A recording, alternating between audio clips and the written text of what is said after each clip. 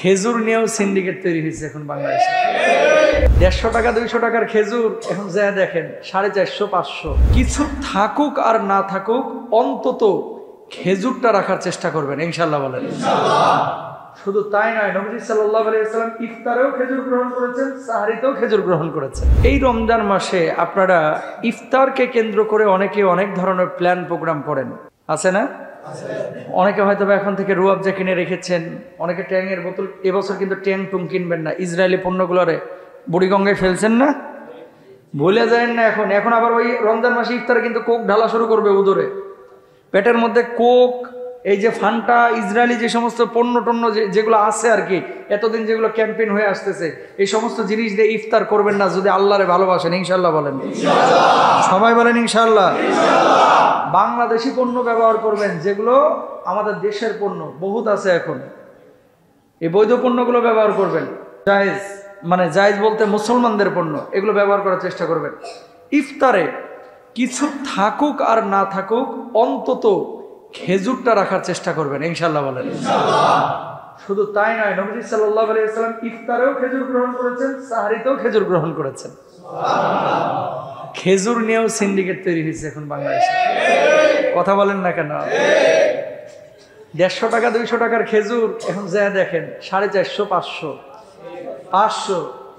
এই যে জালেমগুলো এই সিন্ডিকেট তৈরি করে খেজুরের দামটা বাড়াইছে আল্লাহ যদি রোজাও রাখে এগুলা সন্দেহ আছে এগুলা রোজা কবুল হবে কিনা। কারণ নবীজির একটা সন্না, মনে রাখবেন খেজুর কিন্তু খালি ওই চকলেটের মতো মিষ্টি জাতীয় জিনিস না কিন্তু।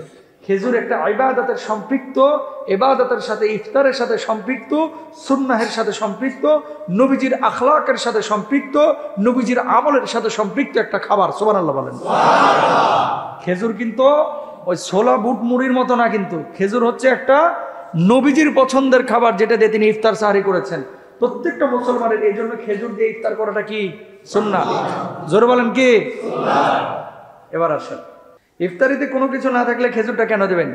বিজ্ঞান বর্তমানে বলতেছে যে দেখেন নবীজি কতটা সাইন্টিফিক কতটা বিজ্ঞানময় ছিলেন নবীজির সুন্না এবং নবীজির কাজকর্মগুলো। বর্তমান বিজ্ঞান বলতেছে, সারাদিন যদি কোনো কিছু নাও খান, শরীরে যে আয়রনের ঘাটতি, রক্তে যে বিভিন্ন উপাদানের সংকট কেউ যদি খেজুর গ্রহণ করে, শুধু খেজুর তার এগারো পার্সেন্ট আয়রনের ঘাটতি মিটিয়ে দেয়। কত পার্সেন্ট?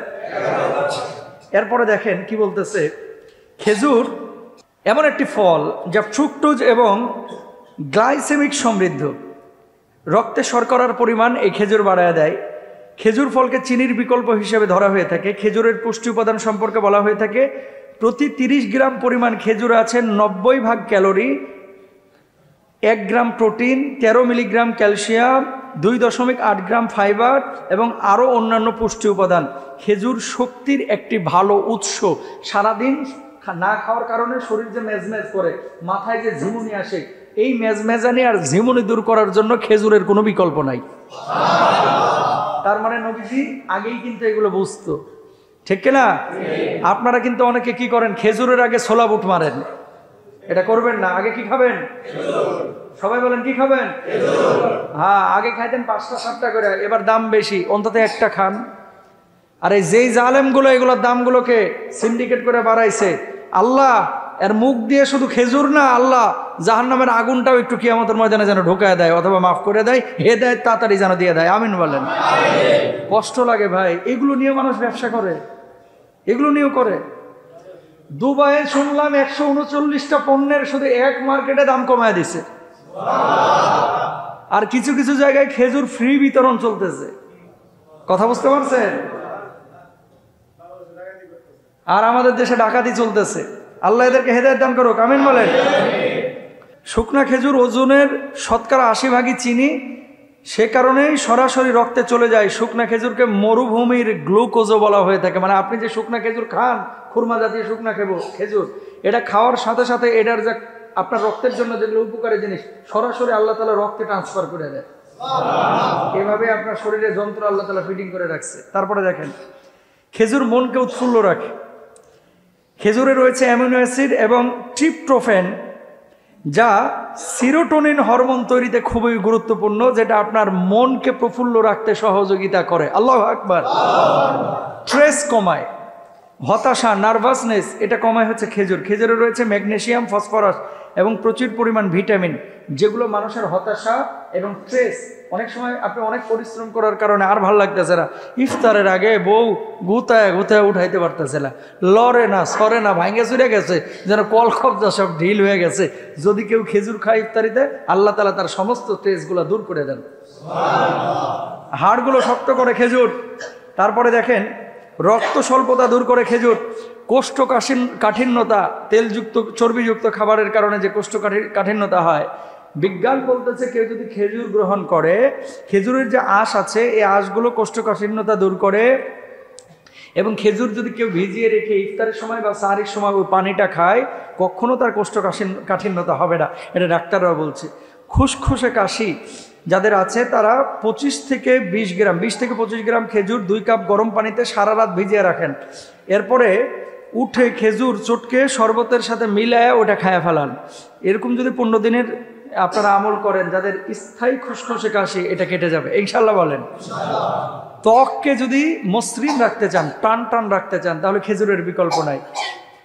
তারপরে খেজুর যারা খাবেন না, এটা ডাক্তারের সাথে পরামর্শ নেবেন, বিশেষ করে যাদের সুগারের প্রবলেম আছে। ডায়াবেটিস বা এ ধরনের কোনো মিষ্টি জাতীয় খাবার খাইলে সমস্যা আছে, এরা খেজুর খাবেন না। তবে সবচাইতে বড় কথা হচ্ছে, বৈজ্ঞানিক উপকারের চাইতে বড় কথা হচ্ছে, আমার নবীজি সাহারিতেও খেয়েছেন, আমার নবীজি ইফতারও খেয়েছেন। আমরাও খাব, ইনশা আল্লাহ। বরঞ্চ বাজেটটা অন্যদিকে কমান। মুরগির গোস্ত, গরুর গোস্ত না হলে তো আপনার আবার সেহরি ঢুকে না, অনেকেই আছে কিন্তু। কথা বলেন না কেন? গরু মুরগি ছাড়া সেহরি চলে না, এই টেন্ডেন্সি থেকে বাইর হন। রমজান হচ্ছে ক্ষুধার যন্ত্রণা, বুঝবেন। যারা অসহায়, দরিদ্র, তাদের কষ্টটা ফিল করবেন, তারপরে খাবার দাবারটাকে সীমিত করবেন। অন্য সময় যদি প্রতি মাসে খানার খরচ হইতে এগারো হাজার, বারো হাজার, অনেকের আছে, রমজান মাসে খরচ হয় চব্বিশ হাজার। কারণ কি? শুধুমাত্র আইটেম বাড়াইতে বাড়াইতে। তাহলে আপনি কি সংযম অবলম্বন অবলম্বন করলেন? সুতরাং এদিকে আমাদের একটু নজর রাখতে হবে। আল্লাহ তৌফিক দান করুক। আমিন বলেন। আসসালামু আলাইকুম।